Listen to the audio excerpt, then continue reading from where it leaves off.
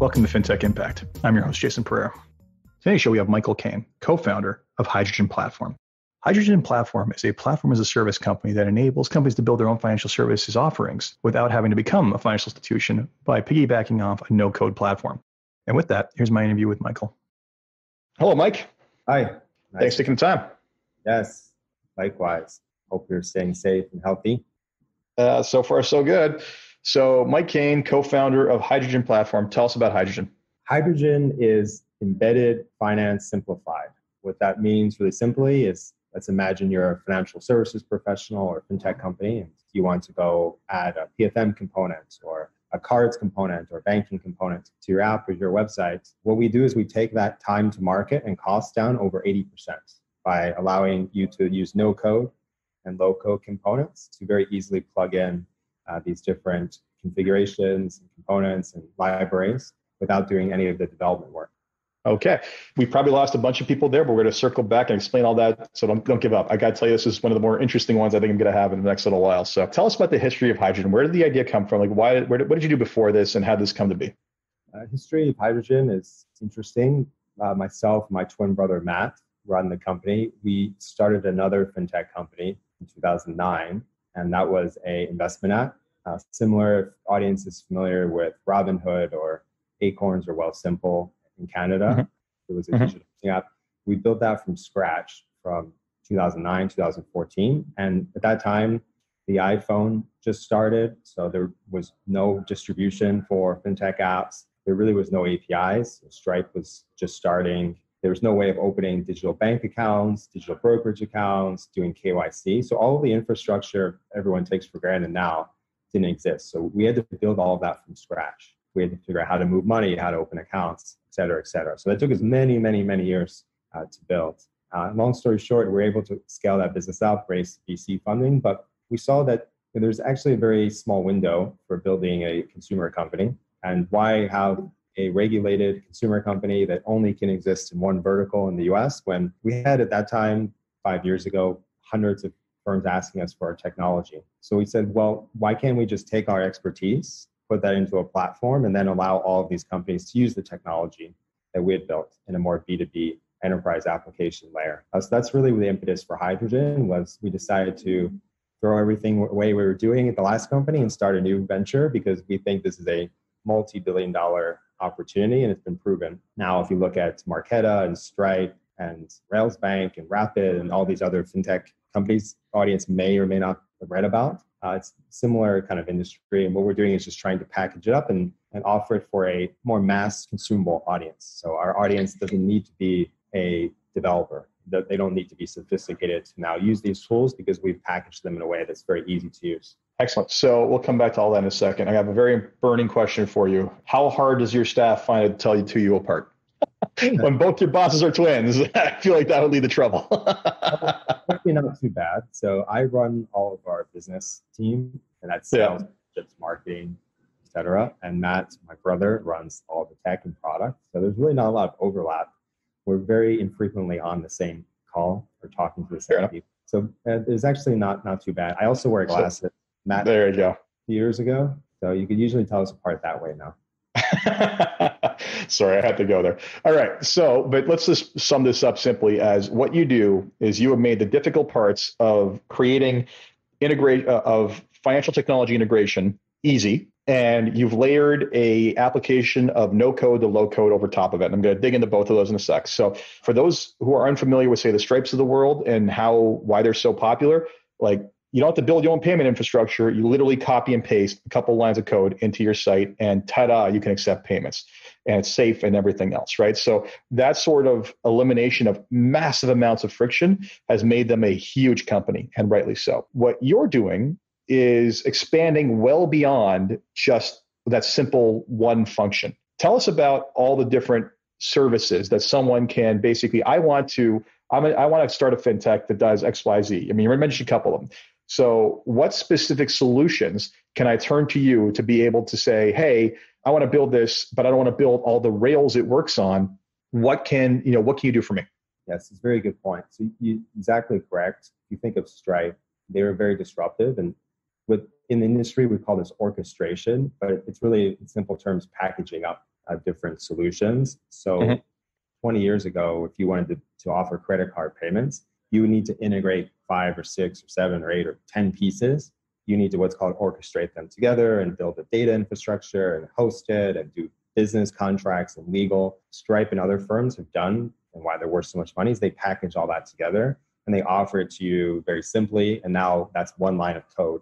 So you don't need to be very technical to do that because they've done all the underlying work. We're able to do that across other verticals. So not just credit card payments, but let's say you wanted to offer what we call money. Money to us would be uh, personal finance solutions like budgeting, cash flow analysis, account aggregation, uh, PFM tools, or small business tools. Uh, let's say you're a lender and you want to do a small business loan. Instead of having the user type in their cash flows or estimate how much money they have in their account or expenses from the last three months, which I've had to do as a small business owner, applying for yeah. loan. It's very painful. What if you could automatically pull that in without doing any integration work and I'll be able to offer UI that you can configure with your logo, with your colors.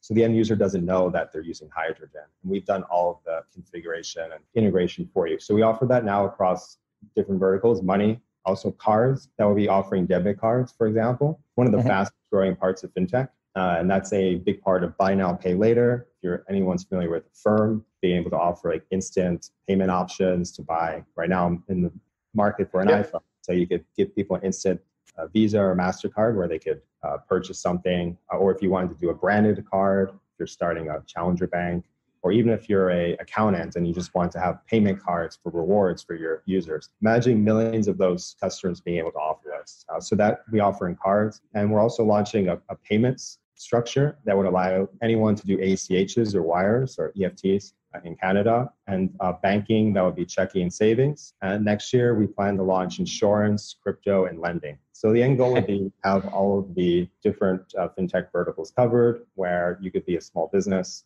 you don't need to have a product team. You don't need to have engineers. You could plug in it to your website. You don't even need to have an app. As long as you have HTML access on your website, which most companies have something, you should be able to plug in these components. So we, we think it's very disruptive.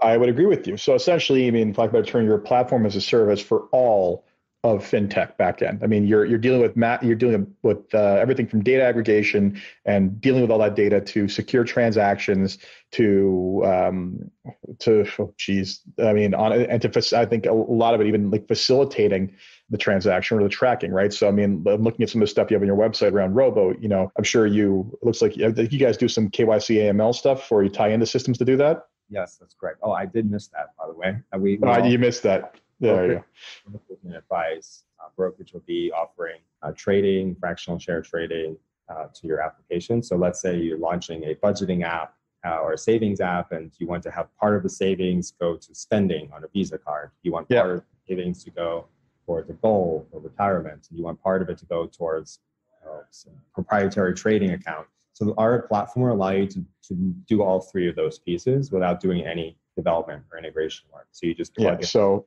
components. I want to start the FinTech Impact Robo Advisor, right? I could literally build the entire flow where I would basically have a client would download the app. They would then basically um, you know verify that who they are through KYC AML. They could link to their existing brokerage account to pull the data from that. That would then populate the forms. That would then you know open the accounts. That would then some them would then be tracking everything, including if they're spending. If I want to do PFM, so the entire value chain of the heavy lifting is all been modularized and it's all been basically standardized so that I can just pick it up off a shelf and plug it into an input, essentially. Correct. And it's yeah. all together. One of the things that many firms don't realize until they start trying to build these solutions is that you can't necessarily go to one vendor to do some of these things. So you mentioned KYC. A, a vendor that does payments or cards or banking may not offer KYC. They say, well, that's not our responsibility. You have to do your own KYC. Yeah. And we don't verify the bank account when you move the money in. They only typically do their silo. And that's a big problem that exists now in fintech. It's similar to healthcare, logistics. You have to put together a lot of pieces. So that's also what we do is we put these together. When we say we orchestrate them, we, we package them up. So our users don't see any of that and they don't have to know what they need to, to package. Uh, which is well, essentially you're trying to make it turnkey, right? Like you're basically saying you've done all the heavy lifting for me, right? Like it's remarkable. So I mean, clearly, you know, when we talk about the concept of open banking, this is this is the future we're talking about here. Is the ability to, I mean, you're not, you know, open banking doesn't fully exist yet, right? You don't have quite the easy payment rails that you would otherwise. I mean, I'm sure there was an enormous amount of heavy lifting to create all of these integrations and all these plays, but a true open banking platform would made it would have made that a lot easier, correct? Yes. And there's geographical constraints here to doing mm-hmm. the packaging. We, we offer two parts of our platform. We have the fully packaged, what we call no codes, which is these solutions put together and modularized, as you mentioned. Uh, mm-hmm. That exists mostly in the US, also in Canada in some pieces, or the UK, uh, potentially in Europe. As you get into other geographies, let's say Costa Rica, we'll get a request and say, I want to offer cards in Costa Rica. We say, sure, you could do that. What we offer outside of the no codes, we have a developer center. Uh, you would have to put that together in Costa Rica to be able to do that. You have to go into our APIs and our backend and do the same work that we've done. Because in many of these markets, the yeah. banking or the rails don't exist. Not yeah. much to do about that. But you know, we're built for the long haul. We're assuming within 10 years that most of these markets will, will get there and we should be able yeah. to offer the package solutions globally oh it's only going to make it easier for you to make those integrations stronger once it actually happens. And you know for people who want to contrast like just how different this is from what existed before go back and listen to my interview with daniel from KOHO, canadian neobank or challenger bank who when they started up none of this existed they had to build it all from scratch and he talks at length about how that was a, a real big lift now if i wanted to start a challenger bank in canada technically i could just utilize your platform and be up and running within a fraction of the time, right? Because I mean, and what people don't realize is that a lot of this stuff that happens with open banking and all this other stuff is that it relies on someone else's infrastructure. I'm not actually getting a banking license. The bank I'm dealing with is getting a banking license. I'm a layer that sits over top of them. So we've talked about the platform pieces and components. I'm going to go to no code and low code. And this has been coming up a little bit more frequently in my conversations. And explain the concept to me, to everybody. I'll, I'll, ju- I'll jump in and add to it. Sure. So if you just think about it logically, you'll have high code, which is how Facebook and Google and Netflix or whatever other platform is made. You sit there one night in your dorm room like Facebook and you code a platform from scratch at the protocol level. That's pretty straightforward. Um, that's traditionally how fintech worked was was very high code and traditionally that is done through in, in financial services a, a consulting firm or some kind of systems integrator. And that's why Accenture and Deloitte make so much money from banks. Mm-hmm. Insurance companies, they say, What do you want to build? We're going to build it for you. So that's a high code. A low code is what really sprung up in the last 10 years. If you look at what's considered middleware or fintech APIs, these are things like Plaid and Stripe to some extent, but uh, now has become very large in the card issuance. Those are more low code in that they've built a layer on top of those high code systems, high codes are from the banks and the back offices, they built a layer on top where they've done a lot of the work for you, but you still need to have technical expertise. You need to work with them and, and you need to do some coding because they haven't put it all together. And no code is one layer above that. No code, the concept there is all the software and the packaging and the UI is done for you. So instead of going into the bottom layer and building that middle layer and the top layer, or going into the middle layer and building the top layer, which is basically the UI. That's what the end user would see.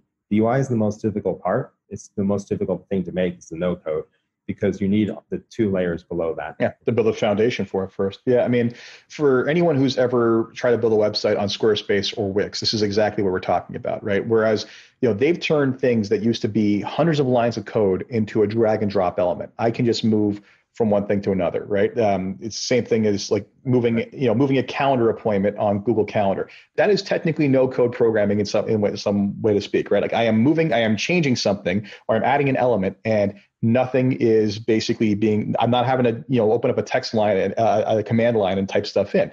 For those of you interested in learning about this, uh, I took a eight week bubble um, a boot camp with a company called Bubble.io it's a platform for building your own applications in a no code environment. And I mean, I honestly, this is the most exciting part of technology to me right now is the concept of no code, the ability to empower countless people to have an idea and without spending a ton of money on development, go and actually just maybe take a couple of classes online that are typically free and build the test model of your product, right? And prove whether or not it works.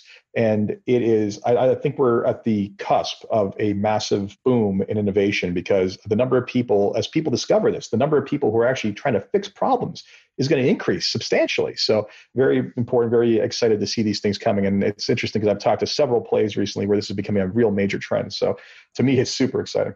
Yes, no, I agree. And you just look at from a business standpoint, anyone who's looking to build a software platform is projected over $30 billion of revenue just in SaaS and software for no code in the next five to 10 years because all these older platforms now need to transition because now you're competing with Squarespace and Canva for those who use that. Yeah.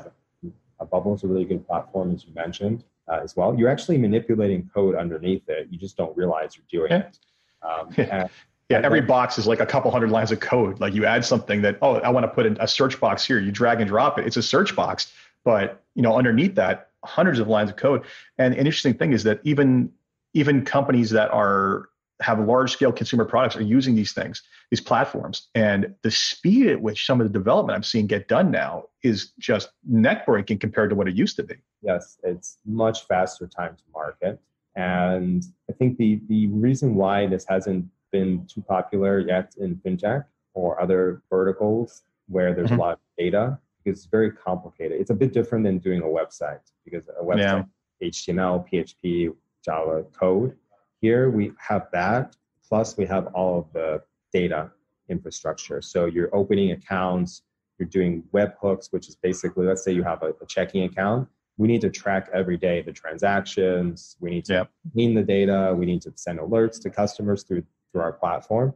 So it's it's leaps and bounds more complicated from a no code perspective because of that. Um, so we're basically taking the foundation that Squarespace and Wix and Canva have made and adding the fintech elements to it, which is all the data infrastructure. And that's where most companies struggle the most. You don't know that you need that until you start building these platforms. And then you get halfway in and you say, oh, wow, we have to build uh, a, a data analytics team and an infrastructure team. And it becomes very, very costly at that point. So we're trying to alleviate much of that cost.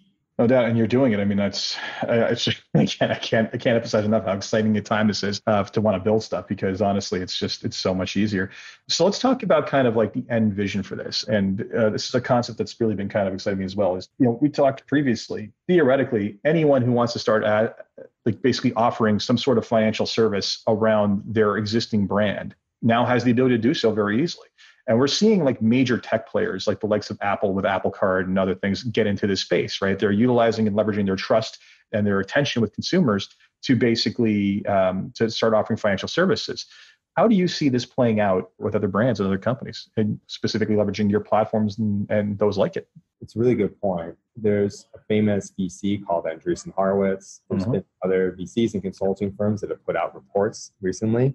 They've coined this market embedded finance, meaning that you know they believe and we believe that you should be able to embed or integrate or deploy financial services quickly. 10 years ago, that would mean you're a financial services company or a fintech company. What we believe in the future is that every company will have fintech components. You'll need to offer these. If you look at, for example, you know, Netflix and other, you mentioned Apple, you're embedding consumer experiences and, and financial services experience inside of the app. user doesn't even know that. Like right now, I'm in front of my Roku TV. I could press a button and buy a subscription. You know that hits some third-party API to, to do the payment, to do the subscription. I could cancel that. It's then hooked into my iPhone, and you could do subscription analysis. There's apps now that just allow you to manage those subscriptions. So everything is so tied together now, and in the end consumer doesn't even see that every minute of the day, they're actually interacting with some financial services API or component. So that's really what we envision as a connected world where every company on earth, whether you know it or not, is using a platform like ours and embedding and integrating these different financial components. So we, believe that's the future. It's, it's not siloed platforms and siloed experiences, yep. integrated uh, commingled experiences where all these different things are coming together. And you're starting to see that a bit more. Uh, we're actually very excited about you know, AR, VR, and some other technologies in the next you know 20 years because we could fully immerse with society in this. Uh, and also to us, you know, this is a global problem, but also a challenge, and there's a lot of potential there. You know, right now, most companies like ours can only target most of the developed markets, but mm-hmm. within the next 10 to 20 years, we theorize that Latin America, Africa, Southeast Asia, they'll have the infrastructure with 5G now, they'll have the speed and the bandwidth, and Wi Fi will be virtually free within 10 years globally. That you should be able to use these components, and the massive, massive opportunity. I agree with you. I mean, it's um, it's very much on trend. I mean, I've been talking about, uh, and I'm sure you're familiar with it, the uh, the paper on the the Copernican revolution in banking, and and talking about moving everything towards you know traditional banks will eventually just become platform providers for people who sit their specific niches on top of that.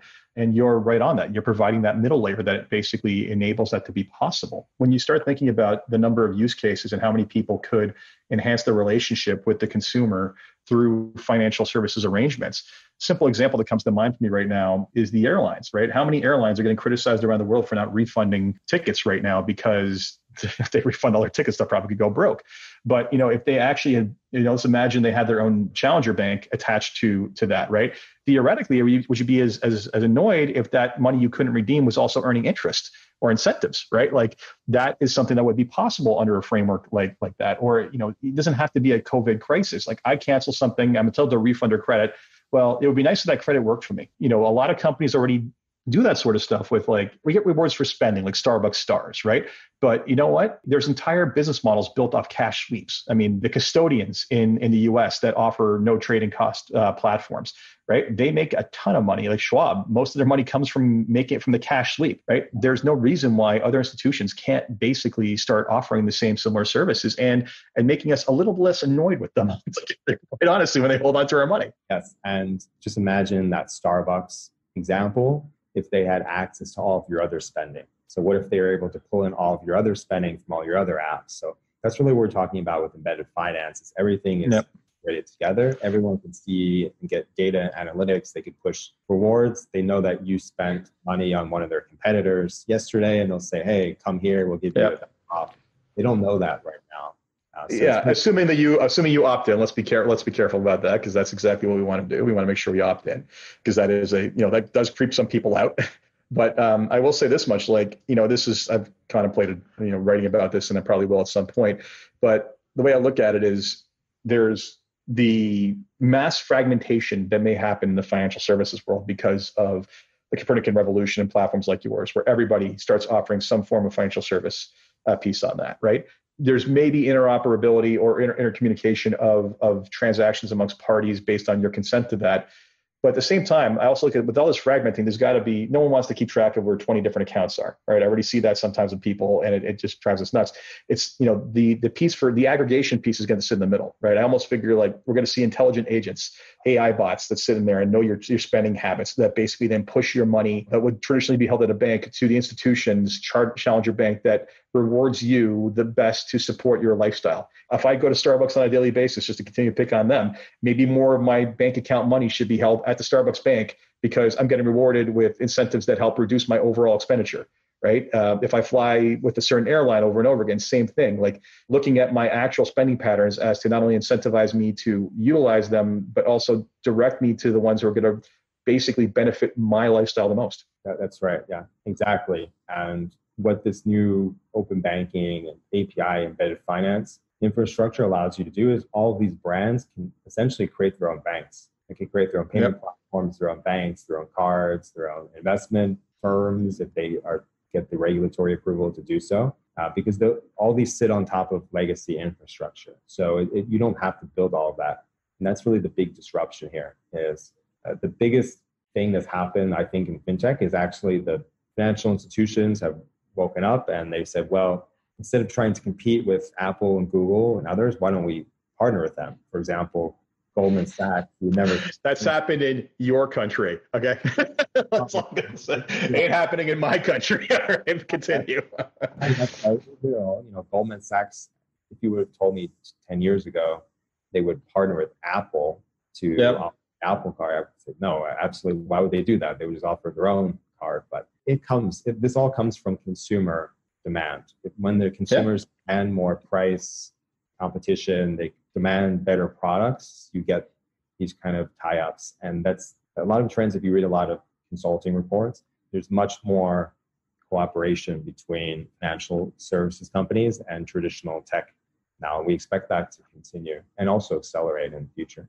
Well, I mean, the most valuable resource, uh, I mean, data is the new oil. Let's just, just get over that, right? Like, the new oil for sure. But I also say, like, the most valuable resource online is attention, right? Like, if Apple's got my attention staring at their device for X number of hours per day, like, it totally makes sense that if I'm Goldman Sachs, I'm like, here, let me be your backer. Because for me to try to aggregate that amount of attention in order to convert X percentage of people and get to that level of scale, who else is going to bring that to the table, right? Like that's that's the reality of it, right? You can, you know, the ad spend that they saved because of that isn't is is you know, almost incalculable in my mind. Like I can't imagine. I don't know how many Apple Card users there are currently, but if you imagine uh, Goldman starting from zero and getting to that point in the same amount of speed, the the ad spend would just be would just be absurd. It would be yes. impossible. Yes. But I I think it also might go in reverse. Not many people talk about this, but I could imagine financial services companies launching electronic products at some point. I know most people don't think this way, but if there's such large market share with Google and Samsung yeah. Apple in the future, I don't see why banks they have enough money and they have enough cash. They could create phones and AR headsets. It wouldn't surprise me if they start getting into that market. So that's. I, I think the true challenge there is culture. I think I think the the ability for to teach that elephant to dance differently is is very difficult. May, maybe a newer innovative bank comes along that does that. I think it's possible. I don't think it's that, that probable. Yeah, not so it is possible, and I think a lot of this is just thinking ahead, and that's a lot of what we try to do in our partnerships. Is just try to think what are the trends going to be. Let's try to get ahead of them, and a lot of what we're pitching is very new. So we we have to really pitch this longer term, long tail vision to a lot of our partners, and a lot of them like it because it's very different than where they've been in the past, and they view it as a way to be competitive going forward. Well, I think um, it's to me this is by far where the puck is going. Like it's you know it may be maybe a little bit far out, but being Canadian, using hockey analogies and Gretzky's in particular too much, um, this is the, definitively where the puck is going. I mean the it, we're, all we're doing is making things frictionless and deepening relationships with consumers. Of course, people are going to want that, right? Like that is that's going to make a lot of sense. And you know, when you think about market share of banks to date, they're always competing with each other. That's fine, but in theory, they could just be. I've said before, if they get smart, they just be the backbone and let everybody else compete for market size, and they don't care who wins because at the end of the day, they're they're still providing that service regardless of who the winner is. So it is um, it is exciting times in the future if this all comes to fruition. So before we wrap up, there's three questions I ask everybody uh, to make you think. The first one is if you had one wish for something you can change in your firm or the industry as a whole, what would it be? I think in terms of the industry, definitely pricing costs. Uh, many of these solutions are too costly. Uh, a lot of the oh. infrastructures cost too much for the end user. You look, for example, interchange fees. It's a good example. You know, why are merchants, let's say, a small business, why are you charged three percent every trend every time someone swipes, and now everyone's moving hundred percent towards electronic payments, and it's, it's very unfair. So that's something we would like to change. I think going forward is make pricing more competitive for small business. I largely understand that concern because it's uh, it's a commonly echoed one. And it's it's I think there's a lot of power to entrenched revenue sources and a lot of especially with the short-term nature of Wall Street, looking at your top line and your bottom line simultaneously even if your bottom line increases but your top line basically decreased, they see that as negative, right? And I think that's just a bizarre way to look at the universe given the mass efficiencies we're starting to see from technology. I have to think that sooner or later some CEO gets bold enough as to say, like, guess what? This number is not really what matters at the top. What numbers is the number at the bottom. And if you want to punish me because I'm down 10% there, but I'm up 50% here, go ahead, right? Like someone someone's going to be bold enough one day to do that. But um, and that that that may set the stage for other people starting to think properly about this. But I, have seen it. I've spoken to to people who are who are ta- you know who basically said the same thing. Well, you know, I basically if I do that, yeah, I know I'll make more money, but if I give up that revenue, then I'm going to get crucified for it, right? Like measuring the wrong. It's it's and I'll tell a story quickly the uh, Jack Welch in his book specifically talked about you know basically being careful what you measure because there was this famous story about how they you know give a mandate to increase sales by X percent, right? So sure enough, the the guys come back and sales have increased by X percent. Well, that's fantastic, but your bottom line dropped by this amount. He's like, well, you didn't tell me to do that, right? Like I actually have to say, you know, he said, well, I you know had them do the top and the bottom. And in the old world, I think that makes sense. I think in the future, the only number is the bottom, and, and the top will get driven to where it has to be for the bottom to happen. Anyway, I agree with that. Excellent. So, second question for you: What's been the biggest challenge in getting the company to where it is today? I think the challenge for any tech company, whether you're in fintech or anything else, it's just getting enough capital to get the product mm-hmm. to market and be successful. Number one challenge of any entrepreneur is you know convincing customers, being lean. You know, we've been yep. profitable the, last, the first few years of running the company, and you know, convincing then investors and stakeholders to take a chance on you. So that's always a challenge. It's really not hmm. specific. Mm. I think it's especially no, no. fintech because fintech is still a bit of a traditional industry where people look for resumes and what you've done in the past. It's starting to change a bit. It's also something we would like to change in the industry. I also think a lot of the attitudes come down to okay, uh, if you're fintech, like show me how many bodies you're going to eliminate. Like I feel like that is part of the entire thing that every VC is looking for. It's like, oh, you're going to destroy advisors, great. You're going to destroy back office, that's great. Like that, they're like, show me the efficiency you're going to squeeze out of the system, as opposed to show me the future, right? Or or basically how you going to how you going to basically enable the next generation of product. Like I'm I, I, think everybody's just focused in the wrong place. And you know, the, the classic example I brought up countless times that I'm sure the VCs loved them when they pitched it was like Wealthfront. We're going to put advisors out of business. Yeah, that hasn't worked out so well. You didn't understand the problem quite well, right? I like that one, but it's famous that Robinhood was turned down by at least 50, 75, maybe more VCs when they yeah. started. $10 million valuation probably, and now they're worth 10 billion or more. I don't know what their yep. valuation is. And they're pitching a new business model. yeah and we're with countless hours of amusement in looking at the data and stories that come out of it. yes. Yeah, so that it's similar to what we're doing, and, and that we're pitching a new way of looking at things, and yep. new presenting a platform, a new way of pricing as well. So that I think it's a challenge when you're doing something new, getting people aligned with what you're doing. But so far, we've been successful. Well, it's you know it's the zero to one paradigm as uh, as Peter Thiel talks about, and creating something new is a heck of a lot harder to sell than going from one to two. Right? Too much of the money's chasing one to two, not zero to one. Anyway, last question for you is: What excites you the most about what it is you're working on and keeps you up, getting up every morning to fight the good fight? I think it's just the potential, if you look long term, in being able to target underserved markets, uh, not just in the U.S., which is definitely with small businesses. Like I mentioned, you know, they get screwed right now in terms of mm-hmm. they don't have a lot of software they could use. It's very high cost. Uh, many companies can't use a lot of the products that we offer right now because they don't have a million dollars to develop things. But that's in the US. Imagine if you're in, I don't know, Belize or in uh, Zimbabwe or where, wherever the country is, Indonesia, and you want to offer these things. Imagine being able to launch this. It's impossible, totally impossible. It doesn't even matter if you have $5 million. Yeah many people don't in those markets. So I think that's actually the most exciting to us is the ability long term to have change globally on how people consume financial services. And we're not there yet. Uh, we are there pretty soon in the U.S. and in North America. But you know, being able to do that in a lot of these other markets is really interesting to us as well because uh, they just don't have access to a lot of these products, and you have monopolies and oligopolies. Mm-hmm. Financial services and a lot of these. Oh, I know about that. Canada evolved a little bit, but at least there's infrastructure and we can plug into the infrastructure there. And there's still a fintech ecosystem in Canada. Yeah. I mean, we're not that bad. We're just bad. Anyway, oh, let's stop harping. Continue. Not too bad. Yeah, it's interesting, and, and when you're talking about developing markets in particular and the challenges of it, it's um, I don't know if you read the last book Clayton Christensen wrote. I can't even remember the name now, but specifically, one of the things he talked about was looking for quote unquote non-consumption as a sign of of delayed consumption, and talks about like you know when they talked about rolling out there was no there was no cell phones or there was no phones period in a lot of developing countries, right? Like you know there was good, good luck getting a phone line somewhere, especially into like rural Nigeria, right? And people who had to go in and like deal with warlords to put put up towers and any number of things, and now they have just robustly hugely profitable companies, right?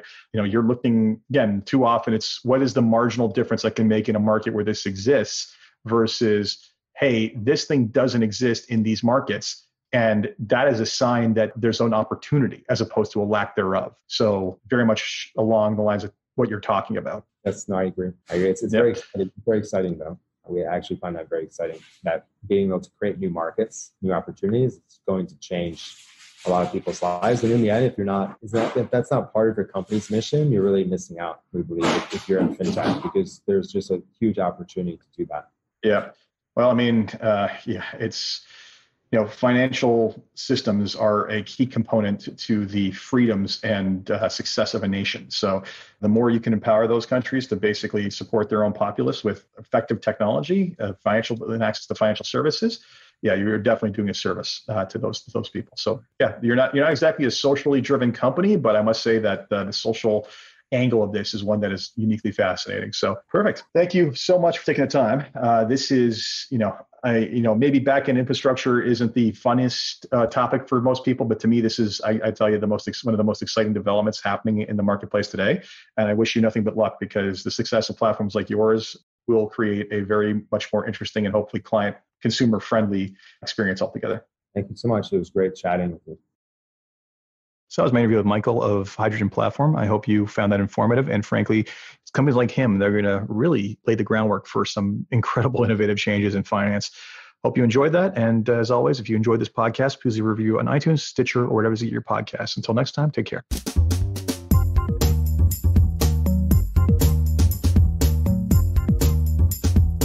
This podcast was brought to you by Woodgate Financial, an award winning financial planning firm catering to high net worth individuals and their families. To learn more, go to woodgate.com. You can subscribe to this podcast on iTunes, Stitcher, and Google Play, or find more episodes at jasonpereira.com.